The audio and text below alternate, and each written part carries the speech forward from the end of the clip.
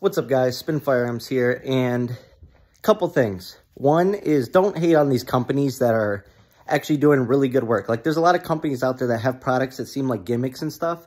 But here's the thing, you need people like that making, you know, backpacks that, you know, fold into, um, you know, body armor. Backpacks that open into a fire. And you know what I mean? All these designs are actually really cool. Concealed carry hoodies, concealed carry vests. Even though they all might not be the most practical, they they make it so all these other companies have to compete. And all that does is give us a large variety of stuff to choose from on how we want to live our everyday carry life. There's nothing wrong with that. Competition is always good. Ideas are always good because here's what happens. Someone takes from that idea, who takes something from that idea, and they end up making something really practical, really efficient, and something that really works. That's how you come up with all these great products. Anyway, so don't hate on those people. Two, don't hate on my CZ. I know I love the Glock 26. That's what's on me right now. We're about to go on a walk to the park. Anyways, um, love my Glock 26. Still carrying it.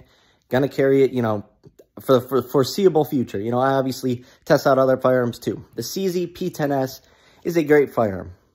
And it looks nice. I know people say it's ugly and stuff like that. That's fine. It functions. It's accurate. It's smooth. It's really nice. But Glock 26 is king.